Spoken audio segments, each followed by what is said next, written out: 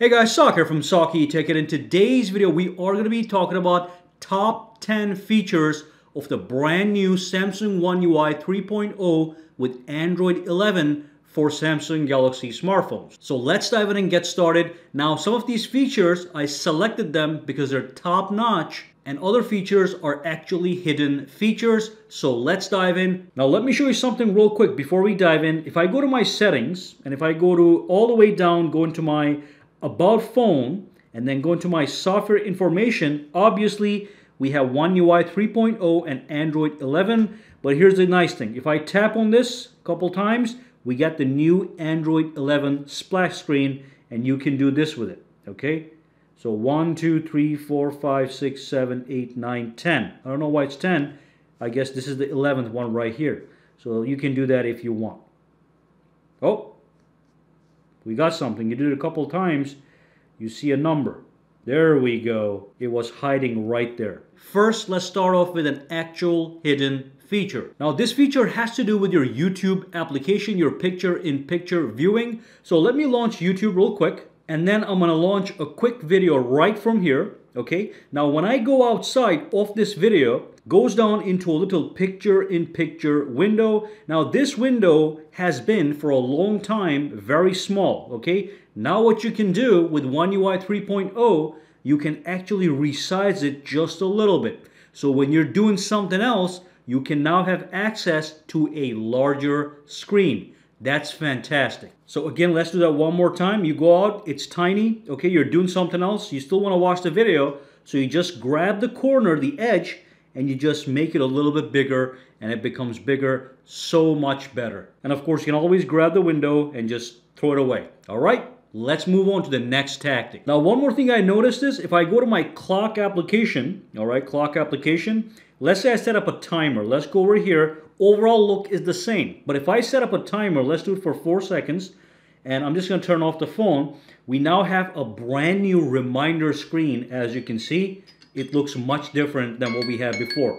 So this one is, uh, in fact, a much cleaner look. And as you can see, we also have a player on the outside, all right? Now let's move on and talk about the next thing I wanna talk about. Now one more new option we have is when I press and hold on any icon, if that icon has any corresponding widgets, they're going to show up right here on the corner. And what I can do is I can tap on that, okay? I can tap on it and it actually allows me to pick the widget that I want based on that application and just dump it onto the home screen as you just saw, okay? So weather application has a widget, it's going to show up at the, at the, at the corner here.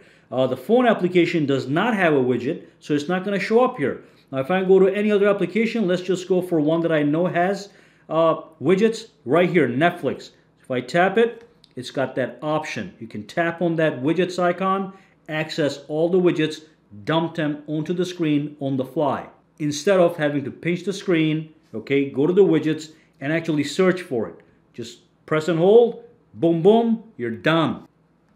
And of course, one of my all-time favorite features from other phones is finally here. Double tap to lock the phone.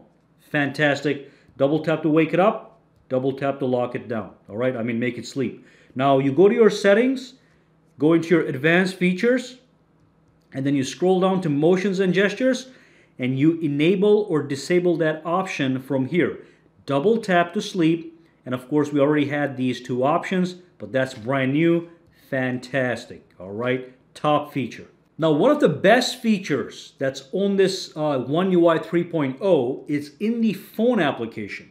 So you go to your phone application, you tap on this one here, you go to your settings, and you have the call background option. You tap on it, and you can put a brand new background in all your actual calls. First, you can tap and change the layout. You can have it centered, or you can have it broken down into two sides. So that's fine. And then you can choose a background. You can have a video background, you can have a still background, or you can go into your gallery and pick any background that you want. So let's go over here and pick a nice one. All right, so here's one uh, for the outdoor. So I'm gonna tap on this one, okay? So that can be my background image when somebody gives me a call. Let me show you what that looks like. I'm gonna tap on call background applied. okay? And now I'm gonna call myself from the other phone. Let's do that right now, all right?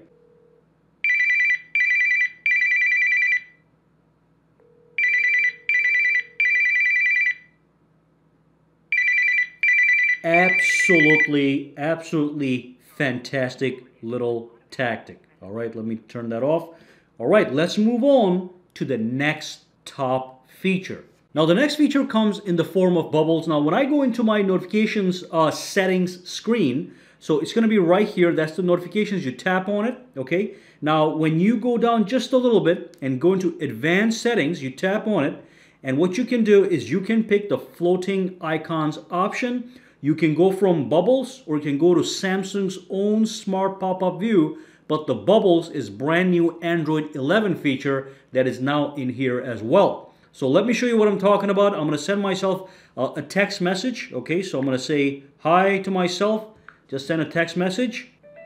So I just got a brand new message. And what I can do is, it says here, you can open the conversations as bubbles from the quick panel. So I'm to pull on the quick panel, okay? And there's that text message right here. I can expand it just a little bit and then you see a little icon right here, okay? It looks like a window icon. When I tap it, it expands the conversation in a bubble view, just like Windows Messenger. So when I tap on this one, it can be minimized. This is just a regular text message, and I can put it anywhere on the screen as I want. When I want to continue a conversation, just tap on it, and it's right there. And I send this away. So that's fantastic. Again, just to be clear, you go to your settings, notifications, advanced settings, okay? And again, floating icons, this is an existing feature. Bubbles is the Android 11 feature that allows you to have a messenger-like, Facebook Messenger-like bubbles on your phone. Let's move on. So let me launch my music application, Google Play Music. I'm gonna play a quick music over here. Let's play this one, okay? Now I'm gonna go down here and then I'm gonna pull down my panel and you can see that we now have on the top above all the other notifications a beautiful little music controller okay and I can go to the next song right from here as you can see uh, well it's not going to the next song but I can go to the next song if I had more songs in that album but then on top of that I can pause go next go back thumbs up thumbs down whatever and I can tap on this icon here that allows me the option to connect any other Bluetooth device that I have that I have in the vicinity to whom I have connected before or whatever. They're going to be listed right here. If they're active, it's going to say connected. You tap on it, it goes right into whatever you want to connect to, such as your Galaxy Buds. But right now, it is connected to your actual phone, as you can see. Now, we also have some brand new privacy security feature. If I go into my settings and if I uh, scroll down over to the uh, privacy, which should be here, right here, on the top we have a brand new menu known as the permission manager. Now when I tap this guy, it gives me a breakdown of all the applications that are using permissions to certain applications. So for example, let's see how many applications have access to my camera. I tap it and I get a full list. So all these applications here have access to my camera. So what I can do if I don't want one of these uh, applications for privacy reasons not to have access to the camera, I would tap on it, I would say deny, and now that application does not have access to my camera. The same thing goes, you can do for microphone. 21 applications have access to my microphone. That's crazy.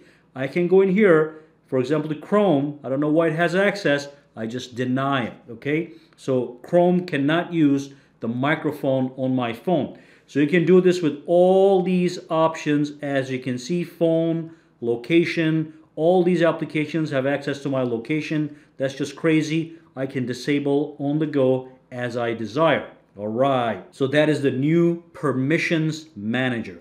Now, one more really cool thing that we have is if I go to my settings and if I go into my notifications, all right, what you can do is you can scroll down, go into your advanced settings, and from here, you can access all your notification history all day long, okay? So if you miss something, you can come back here. This is the recently dismissed notifications. and that's the last 24 hour notifications. They're all categorized. So if you want to expand them, you just tap on it and you'll see what happened for that notification. So this area catches all notifications all day and it serves it to you in case you need to go in there and see if you missed something important. So that is absolutely fantastic. We now have even more dynamic wallpaper options. So if I pinch the screen, okay, if I go to my wallpapers and if I go to wallpaper services and if I go to my dynamic lock screen wallpapers, if I tap on settings, we know we now have many more categories. We have the special category, the art category, the food. Before we only had five. Now I'll let you know that you can actually enable five of these at the same time. So dynamic wallpapers basically is this. Uh, let me just double tap here to turn off the screen. Double tap again to turn it on. Now these are the live wallpapers. Every time I turn off the screen and turn on again at the lock screen, I get a new wallpaper. That's the dynamic lock screen wallpapers.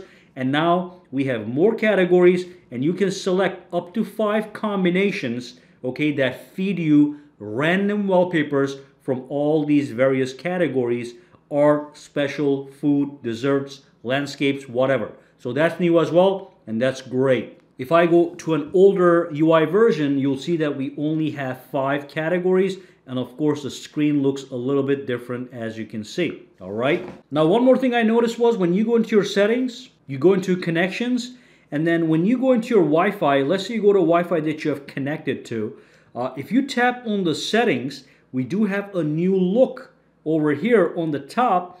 Gives you the network speed the security that they're using and the IP address of this device right here okay? So that's a new look in the Wi-Fi screen. One more thing that's very important with the notifications panel is when I pull this down you will notice that everything is compartmentalized. So we have our conversations in a separate uh, little section. We have our alerting notifications here and then we also have our silent notifications on the top here. And of course, you can go inside and you can expand whatever that you want and perform activities on it. But I like the new broken down look. Everything sits in its own category where it makes sense. So things are not cluttered and clustered all over the place. All right. All right, so that brings us to the end of this video. And this, I want to look at the top 10 features and a bunch of hidden features for One UI 3.0 with Android 11. If you have any questions, comments, or concerns, drop them down below and let me know. And for now, guys, have a fantastic day, all right? All right, so if you found this video useful, make sure to subscribe to Saki Tech by clicking that button and also click that bell icon on the side to make sure you get notified every time I upload a new video. And if you do use Twitter, Instagram, or Facebook, you can follow me at Saki Tech Online to get the latest updates as well. All right, have a fantastic day.